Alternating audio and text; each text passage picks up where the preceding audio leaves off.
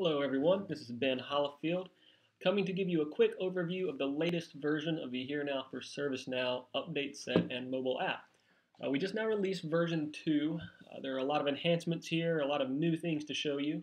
Um, in addition to uh, better scripting, a little bit extra security, it's also easier than ever to set up. Um, for that reason, I want to skip over a lot of the setup processes here um, because it really is quite simple now. All you got to do is come to the Here Now for ServiceNow webpage, and it is here at amonnetworks.com simply download the update set. We're going with version 2 right here. Once that's downloaded, you unzip the update set, you add it to your instance, to your retrieved update sets, um, commit that update, and then you're good to go.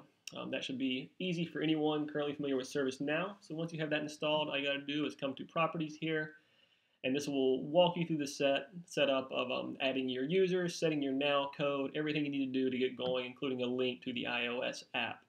Um, we also show up here, there are two different ways to get data into here now for geolocation. Um, one way is via this web check-in module over here on the left nav.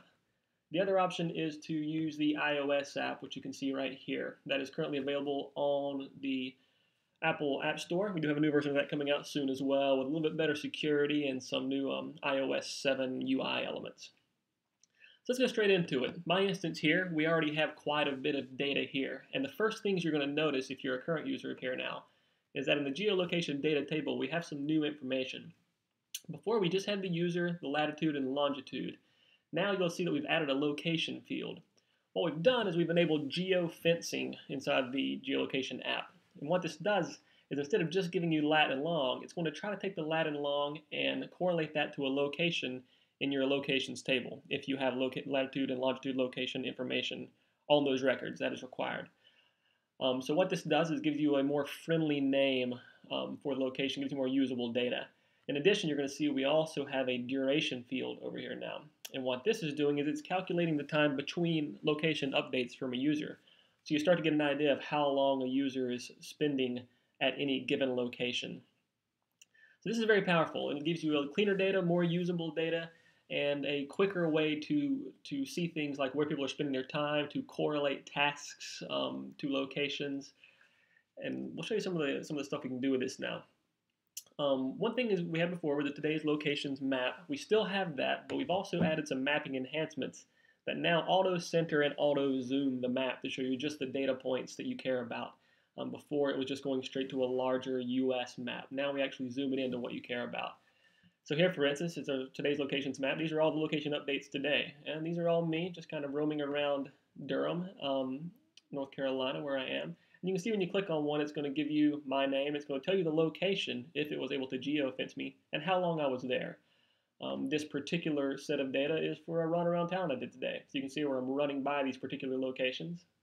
And it's geofencing me to those and saying how long I was there. One minute, one minute, 30 seconds. Um,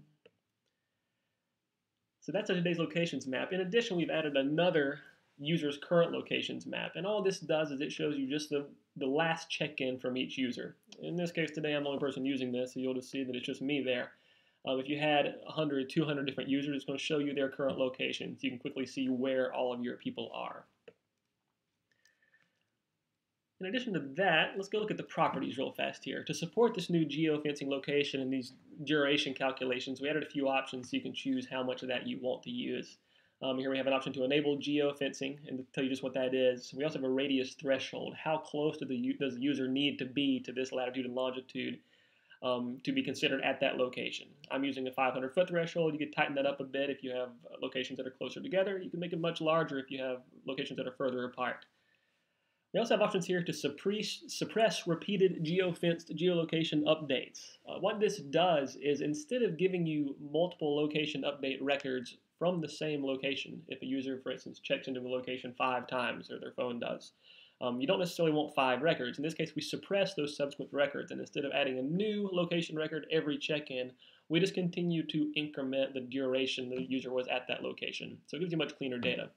And we can do that either for only geofence locations, or we can do it for any location. Um, if a lat long is not matched to a location in your location table, we can also suppress those location updates and just keep incrementing that duration. And in that case, we have a separate threshold because usually that might be a little bit tighter than, than for your actual geofence locations. Let me show you a little bit more we can do here from the geolocation data table. We've also added the ability to map on demand. Um, we had some some issues before where we only had a couple of different map views we could use, um, not that useful. Now I have the option if I want to map, for instance, a certain set of records. Let's say I just want to map this chunk right here. I can check those records, scroll down and select from the drop down, map selected records. Well, it's a little bit cut off there, unfortunately. But then it'll just map the selected records that I just chose.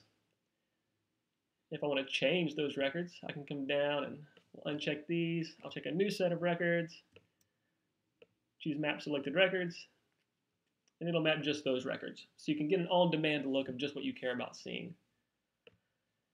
In addition to that, perhaps I want to see where this particular user has been over the last period of time. Added a new option where now you can also right-click on whatever user you see and go down the Show User Timeline. And what this is going to do is going to generate a timeline view of that user's location over the last seven days. And then you can filter it down to a smaller period of time if you like. You can see at the bottom the larger span of the seven days sort of graphically laid out. And then we can scroll down and we can see all the different places that this user has been over the course of the last seven days. And if we've been able to geofence the location, we'll give you that as well.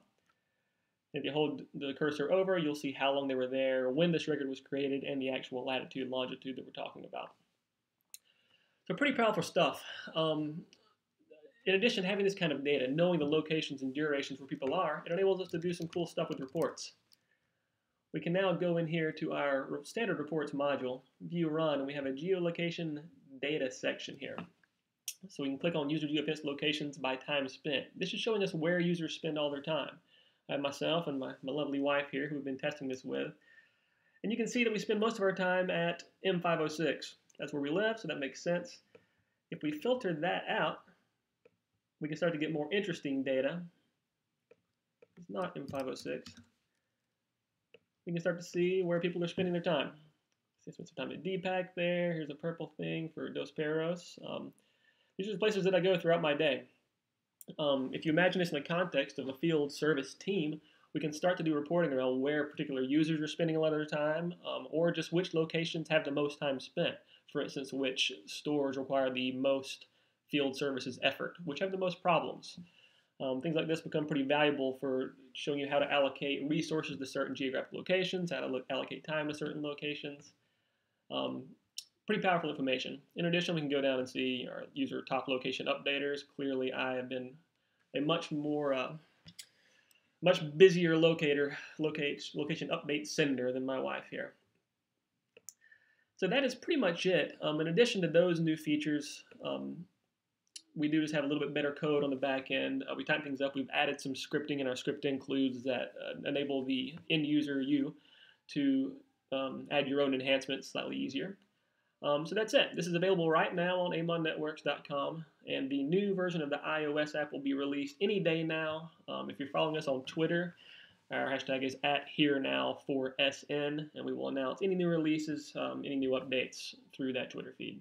Thanks a lot.